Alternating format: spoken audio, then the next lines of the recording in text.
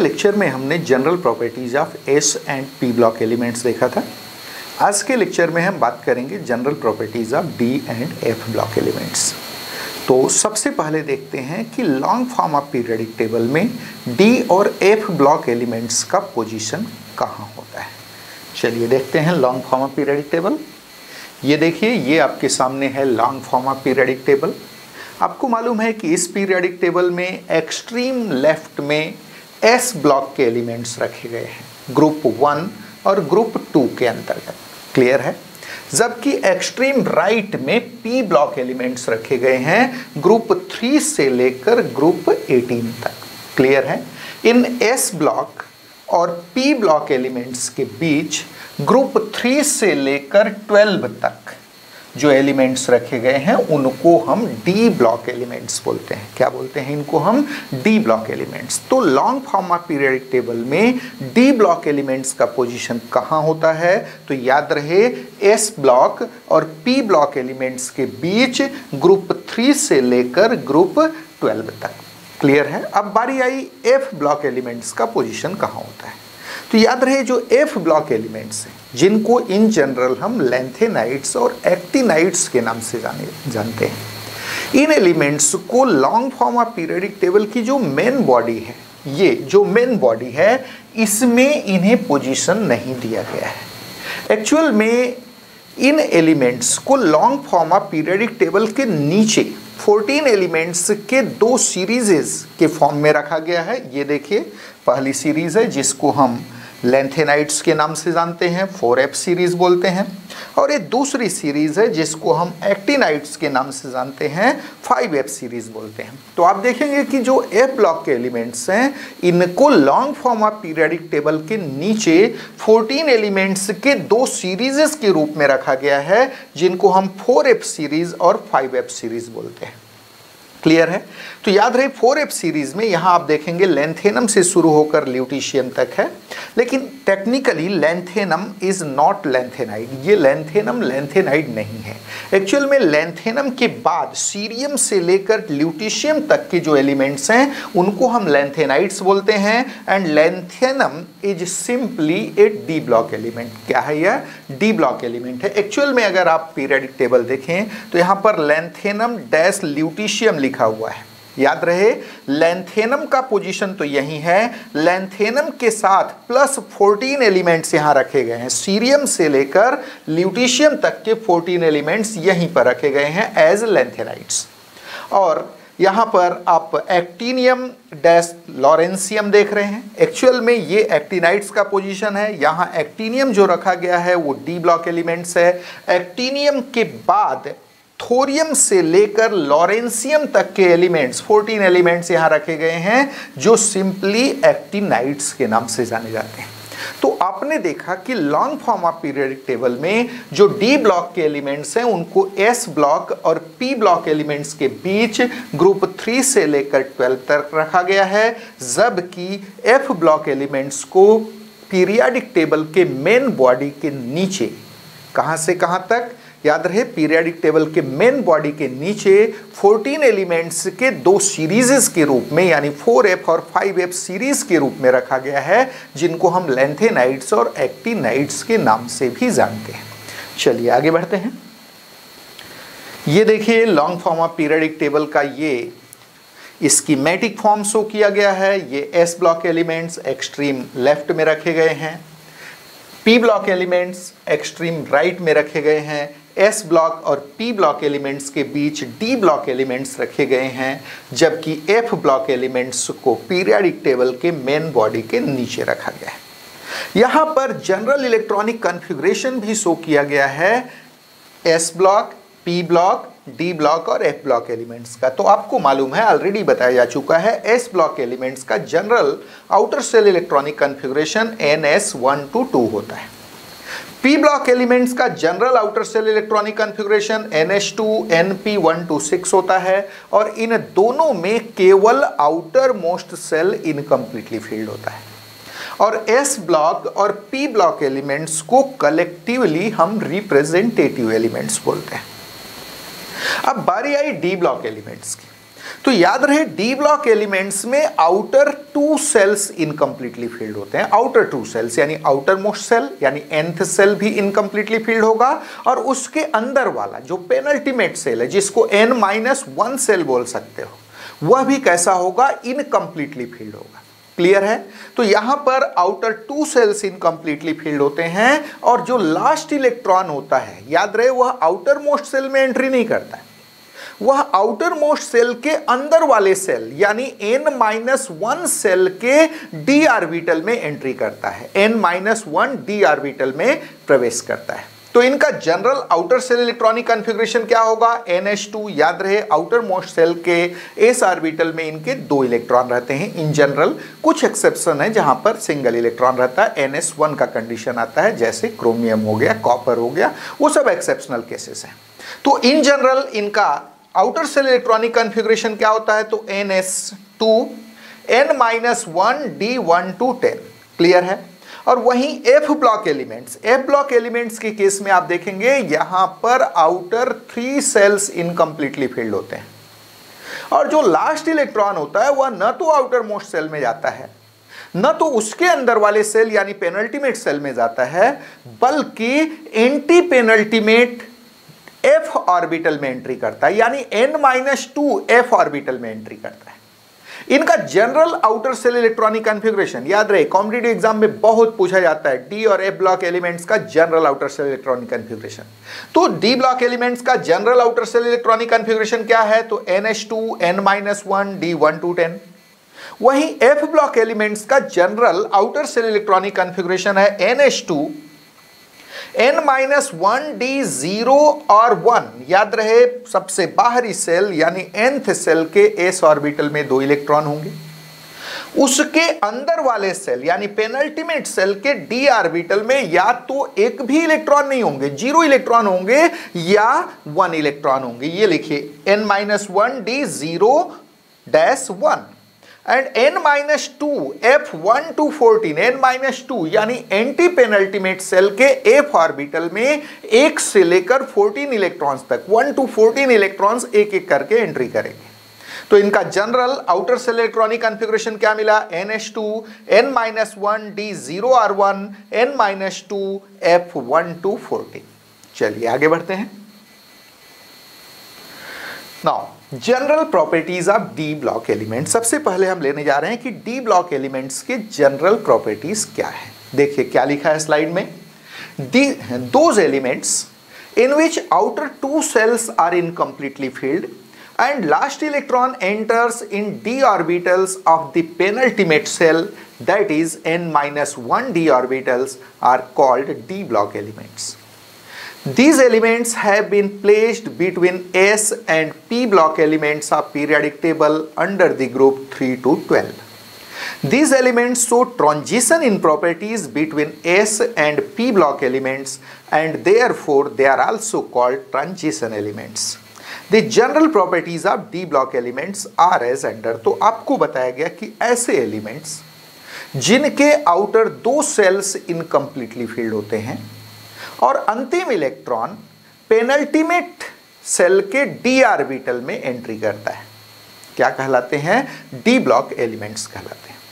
इन elements को long form of periodic table में S block और पी ब्लॉक एलिमेंट्स के बीच रखा गया है from group three to twelve clear है?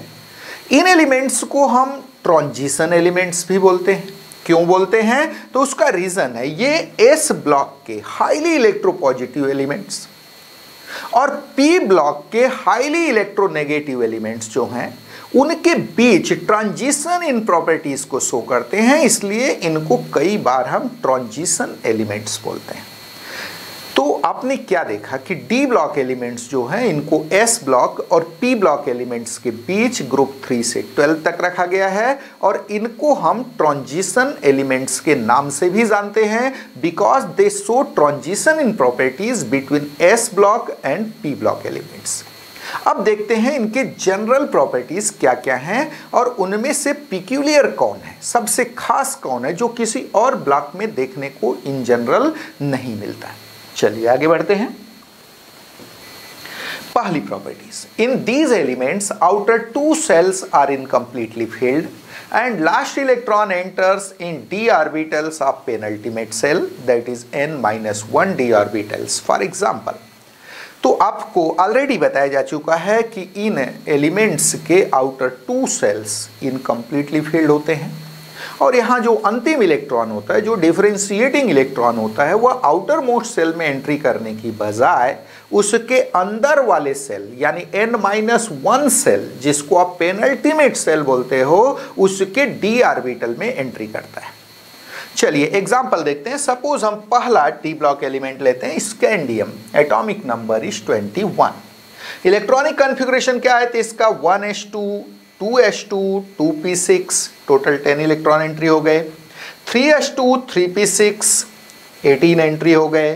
फोर एस टू, यानी twenty, three d one, twenty one. ये 21 का कन्फिग्रेशन है। यहाँ पर आप देख सकते हैं कि फोर्थ सेल 4s2 का कन्फिग्रेशन ध्यान दीजिए fourth shell is outer most shell यहाँ fourth shell outer most shell है, जिसमें दो इलेक्ट्रॉन है। और अंदर वाला सेल, यानी third shell by rule third shell में कितने इलेक्ट्रॉन हो सकते हैं? तो आंसर इज़ 18 फोर्थ सेल में 32 फोर्थ सेल में यहाँ केवल दो इलेक्ट्रॉन एंट्री किए हैं। Means fourth shell is incompletely filled third shell में इन ऑल 18 इलेक्ट्रॉन्स जा सकते हैं, लेकिन गए कितने हैं? ये देखिए 3s2 दो इलेक्ट्रॉन s ऑर्बिटल में है 3p6 छह इलेक्ट्रॉन पी ऑर्बिटल में है एंड 3d1 एक इलेक्ट्रॉन डी ऑर्बिटल में है। टोटल कितने इलेक्ट्रॉन है? टू प्लस सिक्स यानी eight plus one nine electron.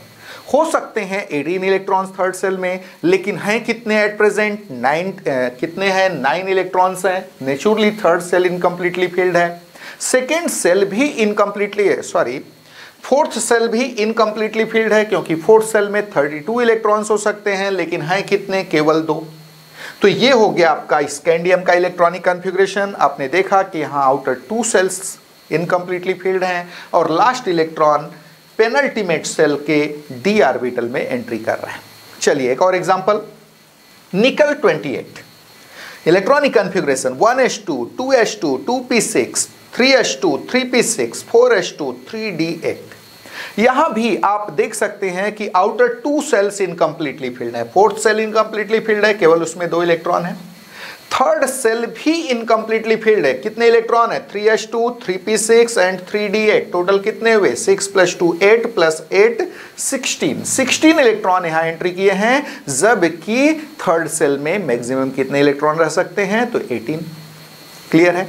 तो ये कुछ इलेक्ट्रॉनिक कन्फिग्रेशन शो किए गए हैं, जो कि यहाँ साफ़ साफ़ दिखा रहे हैं कि डी ब्लॉक एलिमेंट्स में outer two shells incompletely filled होते हैं और जो लास्ट इलेक्ट्रॉन होता है वह आउटर मोस्ट सेल में एंट्री नहीं करता, बल्कि उसके अंदर वाले सेल के डी ऑर्बिटल में एंट्री करता है। चलिए आगे बढ़ते हैं। The general outer cell electronic configuration of these elements is NH2 N minus 1 D1 to 10. तो इनका general outer shell electronic configuration क्या है बहुत पूछता है कॉम्पिटेटिव एग्जामिनेशन में तो याद रहे, इनका general outer shell electronic configuration है NH2 N minus 1 D1 to 10. चलिए, आगे बढ़ते हैं now third variable valencies and oxidation states बहुत ही खास प्रॉपर्टी डी ब्लॉक एलिमेंट्स का। इन जनरल आपने एस और पी ब्लॉक एलिमेंट्स में देखा था कि जो इनके वैलेंसी हैं और ऑक्सीडेशन स्टेट्स हैं, वो फिक्स होते हैं। जबकि डी ब्लॉक एलिमेंट्स का एक पिक्यूलियर फीचर है। इनकी वैलेंसी और ऑक्सीडेशन स्टेट फिक्स्ड नहीं होता वेरिएबल होता है, परिवर्तनशील होता है। देखिए क्या लिखा है स्लाइड में। These elements show variable valencies and oxidation states. In fact, in these elements, the difference of the energy of s orbital of the outermost cell and d orbitals of the penultimate cell that is n minus 1 d orbitals is very small. Hence, along with the electrons of s orbital of outermost cell, those of d orbitals of penultimate cell that is n minus 1 d orbitals also take part in bond formation. Hence, these elements show variable valencies and oxidation states. For example, iron shows plus 2 as well as plus 3 oxidation states.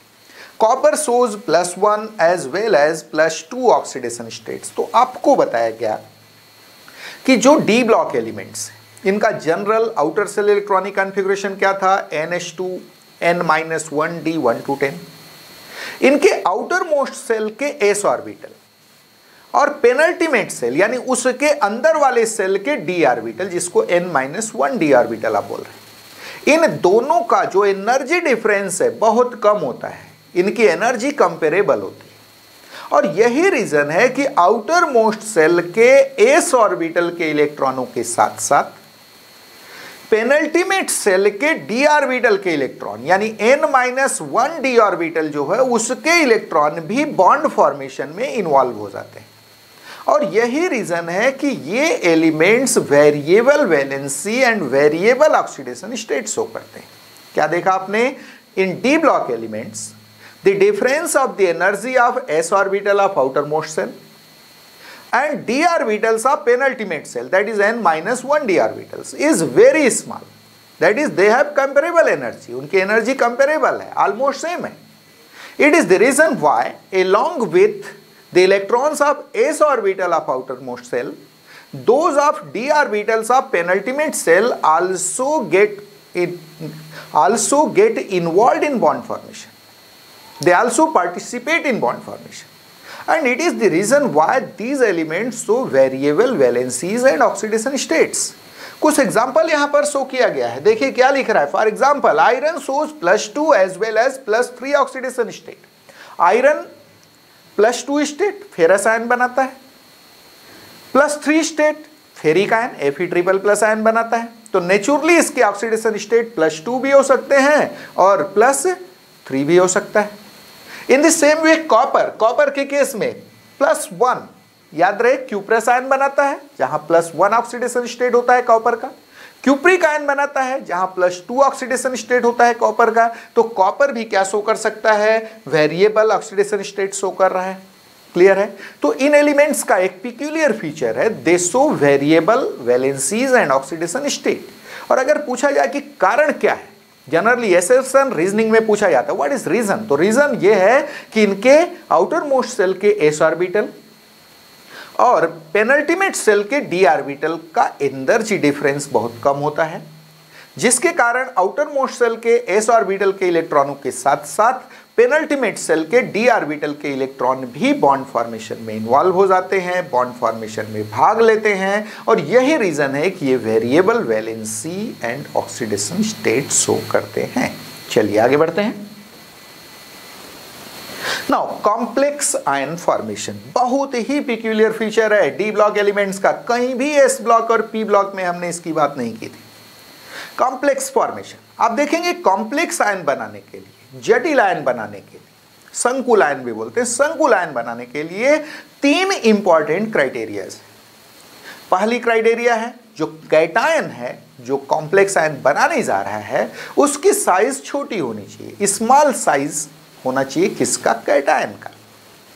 और cation पर charge density ज़्यादा से ज़्यादा होना चाहिए। Size छोटी हो तो नेचुरली उस पर चार्ज डेंसिटी ज़्यादा होगी। तो पहला criteria small size of cation second high charge density on cation and third criteria presence of vacant orbitals याद रहे, जो कॉम्प्लेक्स फॉर्मेशन होता है, उसमें कोऑर्डिनेट बॉन्ड बनता है। वहाँ जो डोनर होते हैं, वो मेटल आयन को लोन पेयर डोनेट करते हैं। तो उस लोन पेयर को एकोमोडेट करने के लिए जो मेटल आयन है, उसके पास वैकेंट ऑर्बिटल्स होने चाहिए। तो ये तीन क्राइटेरियाज हैं कॉम्प्लेक्स फॉर्मेशन के, और ये तीनों क्राइटेरियाज जो डी ब्लॉक के एलिमेंट्स हैं ट्रांजिशन एलिमेंट्स हैं, वो कंप्लीटली फुलफिल करते हैं। And it is the reason why they form complexes यही कारण है कि ये क्या बनाते हैं? कॉम्प्लेक्सेस बनाते हैं कॉम्प्लेक्स आयन बनाते हैं। देखिए क्या लिखा है स्लाइड में। Following are three criteria for the formation of complexes देखिए क्या क्या criteria first small size of cation cation की साइज़ छोटी होनी चाहिए। High charge density on cation cation पर आवेश घनत्व अधिक से अधिक होना चाहिए। और तीसरा है presence of vacant d orbitals in cation cation में vacant orbitals vacant d orbitals का प्रेजेंट होना स्पेशली किसके केस में? जो डी ब्लॉक के एलिमेंट्स हैं, उसमें d orbitals vacant d orbitals present होते हैं। तो तीसरी क्राइटेरिया है presence of vacant d orbitals in cation transition metal ions fulfil all these three criteria and for they readily form complexes. For example, Fe double plus ion forms FeCN6 4 minus ion जिसको आप ferrocyanide ion बोलते हैं। ऐसे Fe triple plus ion बनाता है FeCN6 3 minus ion clear है? जिसको आप फेरिसाइनाइड आयन बोलते हो। तो ये कॉम्प्लेक्स का फॉर्मेशन करते हैं। दूसरा एग्जांपल देखिए CO triple plus ion it forms CONH3 6 triple plus ion क्या बनाता है? CO triple plus ion CO N H three six triple plus ion ऐसे बहुत सारे एग्ज़ाम्पल आपको कोऑर्डिनेशन केमिस्ट्री में पढ़ाया जाएगा। तो आपने क्या देखा कि डी ब्लॉक एलिमेंट्स का एक पिक्यूलियर फीचर है कॉम्प्लेक्स आयन फॉर्मेशन और कॉम्प्लेक्स आयन फॉर्मेशन के लिए तीन इंपॉर्टेंट क्राइटेरियाज हैं। कौन कौन से? तो पहला है small size of cation second is high charge density on cation and third is presence of vacant d orbitals in cation and all these three criterias are fulfilled by ions of d block elements clear है चलिए आगे बढ़ते हैं now coloured ion formation रंगीन ion का निर्माण ये बहुत ही पिक्यूलियर फीचर है डी ब्लॉक एलिमेंट्स का याद रहे एस ब्लॉक एलिमेंट आता था फ्लेम कलरेशन, ज्वाला को रंग देना कंफ्यूज मत होइए, वो था फ्लेम कलरेशन, ज्वाला को रंग देना, वो अपने फ्लेम को कलर देते थे। यहाँ पर क्या है? कलर्ड आयन फॉर्मेशन इन मेटल्स के जो आयन होंगे इन जनरल हाइड्रेटेड फॉर्म में कलर्ड होते हैं, रंगीन होते हैं। रंगीन आयन का फॉर्मेशन एक इंपॉर्टेंट क्राइटेरिया है। किसका? डी ब्लॉक एलिमेंट्स का। क्लियर है? कुछ एक्सेप्शंस को छोड़ करके हम उनकी बात आगे करेंगे। देखिए क्या लिखा है स्लाइड में। Transition metal ions contain partly filled d orbitals that is d one to d nine configuration hence they contain one or more unpaired electron and undergo d d transition इस पॉइंट पर विशेष ध्यान दीजिए d d transition by absorbing light in visible region तो आप देखेंगे कि जो ट्रांजिशन मेटल आयंस हैं, उनमें जो डी आर होता है N minus one D R वो पार्टली फिल्ड होता है। आंशिक रूप से भरा होता है। इन जनरल D1 से D9 तक का कॉन्फ़िगरेशन होता है। याद रहे D10 हो जाएगा तो वो कंप्लीटली फिल्ड हो जाएगा। जैसा कि Z N double plus ion C D double plus ion H G double plus ion इनके केस में देखने को मिलेगा। हम उनकी बात अभी नहीं कर रहे।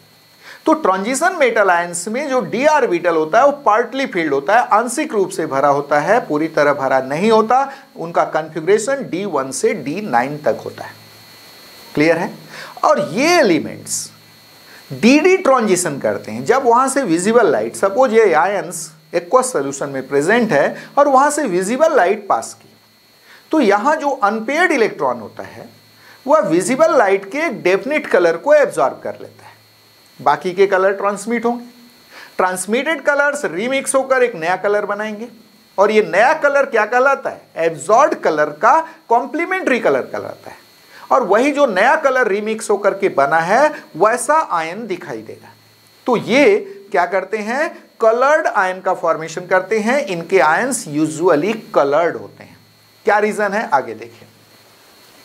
Due to absorption of light in visible region transition metal ions are usually coloured for example C U double plus ion is deep blue in colour C U double plus ion cupric ion किस colour का होता है? Deep blue in colour CO double plus ion is pink in colour CO double plus ion कैसा होता है? Pink colour का होता है। तो आपने क्या देखा कि ट्रांजिशन मेटल आयंस में usually partly filled d orbital होता है, आंशिक रूप से भरा हुआ डी आर्बिटल होता है। इनका इलेक्ट्रॉनिक कॉन्फ़िगरेशन डी वन से डी नाइन तक होता है। जिसके कारण इनके पास one or more unpaired electron होते हैं। जब विजिबल लाइट इनके थ्रू जाती है तो ये अनपेयर्ड इलेक्ट्रॉन किसी डेफिनेट कलर को डेफिनेट वेवलेंथ को एब्जॉर्ब कर लेते हैं they undergo d d transition क्या होता है? डी डी ट्रांजिशन हम डिटेल करेंगे कोऑर्डिनेशन केमिस्ट्री के अंतर्गत। तो ये डी डी ट्रांजिशन करते हैं। एक डी आर्बिटल से इलेक्ट्रॉन दूसरे डी आर्बिटल में यहाँ शिफ्ट होता है। और इस डी डी ट्रांजिशन के लिए चूँकि उन्होंने विजिबल लाइट से एक डेफिनेट कलर को एब्जॉर्ब कर लिया है, इसलिए ट्रांसमिटेड लाइट को एक डेफिनेट कलर मिल जाएगा, जो कि कॉम्प्लीमेंट्री कलर होगा किसका? एब्जॉर्ब कलर का। तो ये क्या बनाते हैं? कलर्ड आयन का फॉर्मेशन करते हैं। और कुछ एग्ज़ाम्पल जैसे C U double plus ion की बात करें, ये कैसा होता है? तो डीप ब्लू कलर का होता है due to d d transition वहीं C O double plus ion cobalt जो होता है cobalt double plus ion that is pink in colour किस कलर का है? पिंक कलर का है। चलिए आगे देखते हैं। On the other hand scandium triple plus titanium four plus vanadium five plus ions all having d zero configuration and Zn double plus Cd double plus Hg double plus ions all having D10 configuration do not contain any unpaired electron and therefore do not undergo DD transition by absorbing light in visible region. Hence these ions and their compounds are colorless. तो आपने क्या देखा scandium triple plus titanium four plus vanadium five plus सबका d zero configuration है वैसे ही zinc double plus, cadmium double plus, mercury H G double plus and copper single plus C U single plus इन सब में D ten configuration होता है। इन सब के पास कोई भी अनपेड इलेक्ट्रॉन नहीं होता है, जिसके कारण ये विजिबल रीजन से लाइट एब्जॉर्व करके डी डी ट्रांजिशन नहीं करते और ये सारे के सारे कलरलेस होते हैं। कैसे होते हैं? All these are colourless ions और इनके कंपाउंड्स भी कैसे होते हैं? कलरलेस होते हैं, रंगहीन होते हैं। क्लियर है? चलिए नाउ मैग्नेटिक प्रॉपर्टीज़ चुंबकीय गुण तो आप देखेंगे कि जो ट्रांजिशन मेटल्स हैं और उनके जो आयंस हैं यूजुअली D1 से D9 कॉन्फ़िगरेशन रखते हैं। तो इनके पास one or more unpaired electron होता है। जिसके कारण ये मैग्नेटिक फ़ील्ड में अट्रैक्ट किए जाते हैं और पैरामैग्नेटिक नेचर के होते हैं। कैसे होते हैं? पैरामैग्नेटिक नेचर के होते हैं। देखिए क्या लिखा है स्लाइड में। Transition metals and their ions usually contain partly filled d orbitals d one to d nine configuration and therefore they contain one or more unpaired electron Hence, they are attracted in magnetic field and are paramagnetic in nature. The magnetic behavior of transition metal ions, transition metal atoms or ions is expressed in terms of their magnetic movement which is given by the following expression ध्यान दीजिए क्या expression है magnetic movement का competitive exam में इस फार्मूले से question पूछे जाते हैं mu, magnetic moment. Mu is equals to root of n into n plus 2 Bohr magneton, that is bm where n is number of unpaired electrons. याद रहे, जितने ज़्यादा होंगे अनपेयर्ड इलेक्ट्रॉन म्यू का वैल्यू यानी मैग्नेटिक मूवमेंट चुंबकीय आघूर्ण का वैल्यू उतना ही ज़्यादा होगा, और उतना ही ज़्यादा उस मेटल आयन में मैग्नेटिक बिहेवियर होगा। तो आपने देखा कि जो ट्रांजिशन मेटल आइटम्स हैं और आयंस उनमें d orbital usually partly filled होता है। डी वन से डी नाइन तक का कॉन्फ़िगरेशन होता है। तो इनमें नेचुरली एक या अधिक अनपेयर्ड इलेक्ट्रॉन होता है, जिसके कारण ये मैग्नेटिक फ़ील्ड में अट्रैक्ट किए जाते हैं और पैरा मैग्नेटिक नेचर शो करते हैं। और इनका जो पैरामैग्नेटिक नेचर होता है, इसका जो मैग्नेट्यूड है that is given by magnetic movement of respective ion उस आयन के मैग्नेटिक मूवमेंट यानी म्यू के द्वारा शो किया जाता है। और म्यू का वैल्यू क्या है? तो mu is equals to root n into n plus two Bohr magneton where n is number of unpaired electron in respective ion आप देखेंगे कि किसी मेटल आयन में जितने ज़्यादा अनपेयर्ड इलेक्ट्रॉन होंगे उसका मैग्नेटिक मोमेंट यानी म्यू का वैल्यू उतना ही ज़्यादा होगा, उसमें पैरा मैग्नेटिक नेचर उतना ज़्यादा होगा। वहीं आप देखेंगे जीन आयंस में डी ज़ीरो या डी टेन का कॉन्फ़िगरेशन था। Example scandium triple plus titanium four plus vanadium five plus zinc double plus cadmium double plus H G double plus इन सब में डी टेन कॉन्फ़िगरेशन था। वहीं आपने शुरू के जो तीन केस देखे थे scandium triple plus titanium four plus vanadium five plus सब में डी ज़ीरो कॉन्फ़िगरेशन था। इनमें एक भी अनपेड इलेक्ट्रॉन है, नहीं है। Naturally they will not be attracted in magnetic field and they will be diamagnetic in nature कैसे होते हैं? डायमैग्नेटिक नेचर के होते हैं। इनका मैग्नेटिक मूवमेंट ज़ीरो आता है। कॉम्पिटेटिव एग्ज़ाम में इस मैग्नेटिक बिहेवियर से बहुत सारे क्वेश्चंस पूछे जाते हैं क्लियर है चलिए आगे बढ़ते हैं Here, the greater the number of unpaired electrons in a species, more is its magnetic moment and therefore more is its paramagnetic nature. Already बताया जा चुका है कि जिस मेटल आयन में या मेटल आइटम में जितने ज़्यादा अनपेयर्ड इलेक्ट्रॉन होंगे, उस मेटल आइटम और आयन का मैग्नेटिक मूवमेंट यानी म्यू उतना ही ज़्यादा होगा, उसका पैरा मैग्नेटिक नेचर उतना ज़्यादा होगा मैग्नेटिक बिहेवियर उतना ज़्यादा होगा। क्लियर है?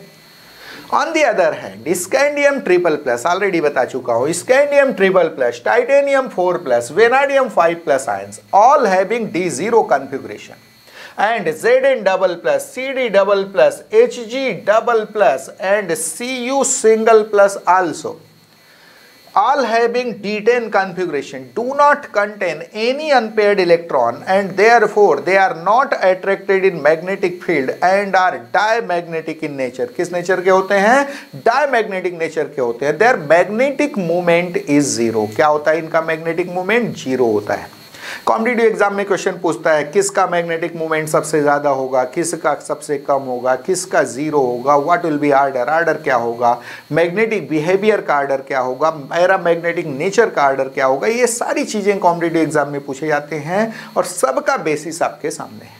चलिए आगे बढ़ते हैं। नाउ एलॉय फॉर्मेशन यानी मिश्र धातुओं का निर्माण। तो आप देखेंगे जो ट्रांजिशन मेटल आइटम्स हैं, उनका एटॉमिक साइज़ और आयनिक साइज़ ऑलमोस्ट कंपेरेबल होता है, जिसके कारण एक मेटल के लैटिस में दूसरे मेटल का आइटम इजिली जो है क्या हो सकता है फिट हो सकता है। और यही रीजन है कि ये बड़े ही आसानी से एलॉय का फॉर्मेशन करते हैं।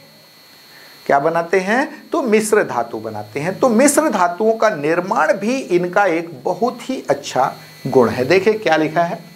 All the transition metal ions have comparable atomic size all the transition metals and ions have comparable atomic and ionic size ऐसा कह सकते क्लियर है? Hence atoms of one metal can easily fit in crystal lattice of another metal hence they frequently form alloys for example brass is an alloy of copper and zinc brass किसका alloy है? तो copper and zinc का।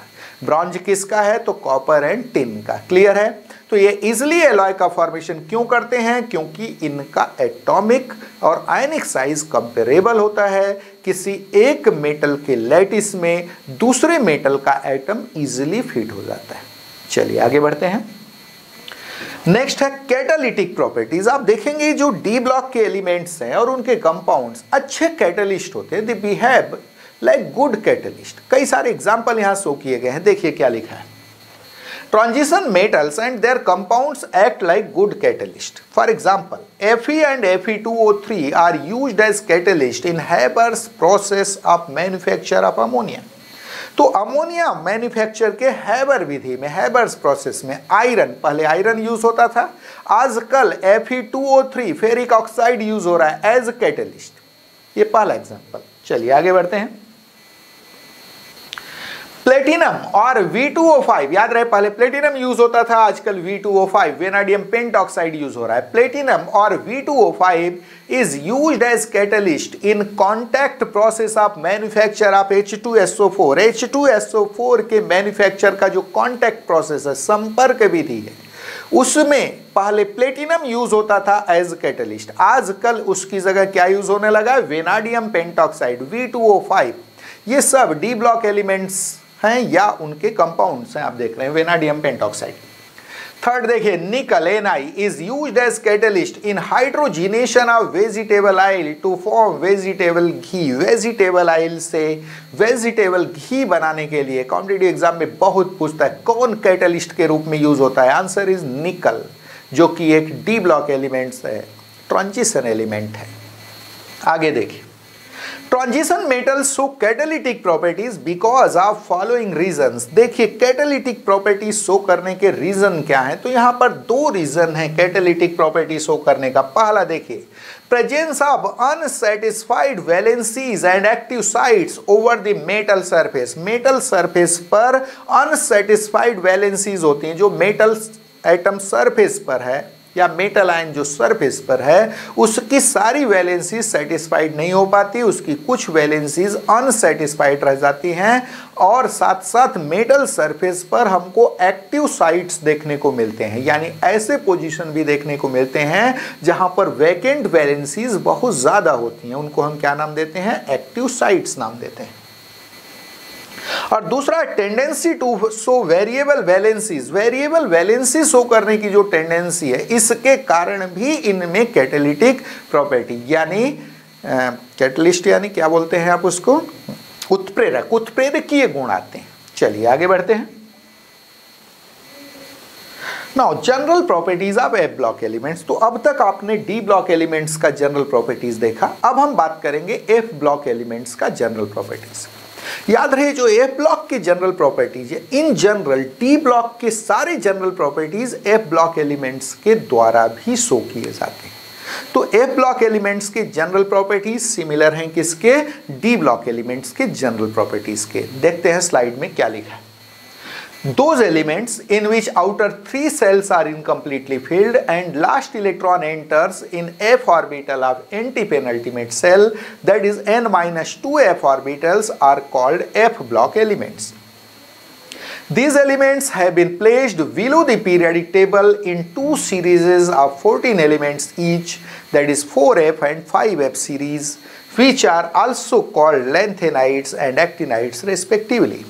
The general outer cell electronic configuration of these elements is NH2, N-1, D0 to 1, N-2, F1 to 14. तो आपने देखा कि ऐसे elements जिनके outer two shells incompletely sorry जिनके outer three shells incompletely filled होते हैं और जो लास्ट इलेक्ट्रॉन है वह एंटी पेनल्टीमेट एफ़ ऑर्बिटल यानी n minus two f orbital में एंट्री करता है।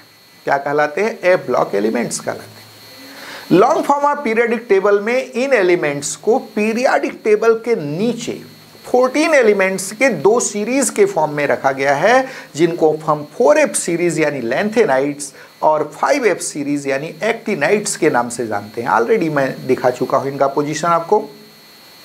आगे आपने देखा कि इनका general outer shell electronic configuration competitive exam में बहुत पूछता है general outer shell electronic configuration इनका क्या है? तो NH2 n minus one d zero to one zero to one n minus one d orbital में या तो एक भी इलेक्ट्रॉन नहीं होगा, या केवल एक इलेक्ट्रॉन होगा। And n minus two f one to fourteen क्या होता है? N s two n minus one d zero to one n minus two f one to fourteen ये इनका general outer shell electronic configuration है। किसका? F block elements का। चलिए आगे बढ़ते हैं।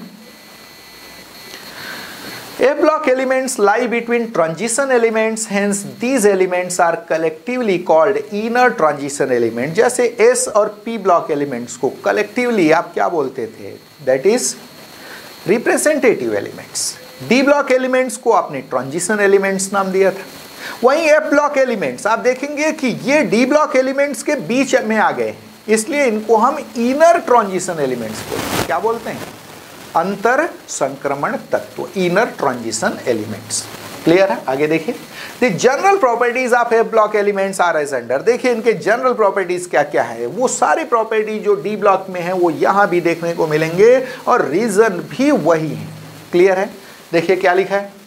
In these elements, outer three cells are incompletely filled and last electron enters in f orbital of anti-penultimate cell that is n minus 2 f orbital. तो इन elements में बाहरी तीन सेल इनकम्प्लीटली फिल्ड होते हैं और अंतिम इलेक्ट्रॉन बाहरी दो सेल छोड़कर उसके अंदर वाले यानी n minus two f orbital में एंट्री करता है क्लियर है The general outer cell electronic configuration of these elements is NH2, N-1, D0 to 1, N-2, F1 to 14. तो इनका general outer cell electronic configuration है NH2, N- d zero to one n minus two f one to fourteen चलिए आगे बढ़ते हैं These elements show variable valencies and oxidation state just like D block elements. D block elements के समान ये भी परिवर्तनशील संयोजकता तथा ऑक्सीकरण अवस्था प्रदर्शित करते हैं क्या लिखा आपने These elements so variable valencies and oxidation states. Next these elements readily form complexes ये एलिमेंट्स भी आसानी से कॉम्प्लेक्सेस बनाते हैं. They readily form complexes next property these elements readily form coloured ion ये बड़े ही आसानी से कलर्ड आयन का फॉर्मेशन करते हैं. जैसा कि डी ब्लॉक एलिमेंट्स में आपको देखने को मिला था. These metals and their ions contain one or more unpaired electrons and are paramagnetic in nature just like d block elements आप देखेंगे कि यहाँ मेटल आइटम्स और आयंस में वन और मोर अनपेयर्ड इलेक्ट्रॉन होता है जिसके कारण ये पैरामैग्नेटिक नेचर शो करते हैं आगे क्या लिखा है? दे रेडिली फॉर्म एलॉ ये आसानी से मिश्र धातु बनाते हैं। दे सो कैटलिटिक प्रॉपर्टी, और ये क्या शो करते हैं? तो कैटलिटिक प्रॉपर्टी शो करते हैं। इनमें भी उत्प्रेरकीय गुण देखने को मिलता है, ये भी अच्छे कैटलिस्ट के समान काम करते हैं। तो आज के लेक्चर में आपने देखा कि डी और एफ़ ब्लॉक एलिमेंट्स क्या होते हैं। उनका general outer shell electronic configuration क्या होता है? Long form of periodic table में उनका पोजीशन कहाँ पर है? और साथ साथ इनके जनरल प्रॉपर्टीज़ क्या हैं? और कौन कौन से पिक्यूलियर प्रॉपर्टीज़ हैं जो इन एलिमेंट्स में देखने को मिलता है? यहाँ से कॉम्पिटेटिव एग्ज़ाम में बहुत सारे क्वेश्चन पूछे जाते हैं। स्पेशली अगर आप देखें तो कलर्ड आयन फॉर्मेशन से क्वेश्चन उठाता है सामने वाला, या मैग्नेटिक बिहेवियर से क्वेश्चन उठाता है। कॉम्प्लेक्स फॉर्मेशन के क्राइटेरियाज पूछता है। कई बार की कलर्ड आयंस का कलर कौन कौन सा होता है, ये सारी चीज़ें आपसे यहाँ से पूछी जाती हैं। तो आज के लेक्चर में बस इतना ही। बाकी हम नेक्स्ट लेक्चर में देखेंगे। Thank you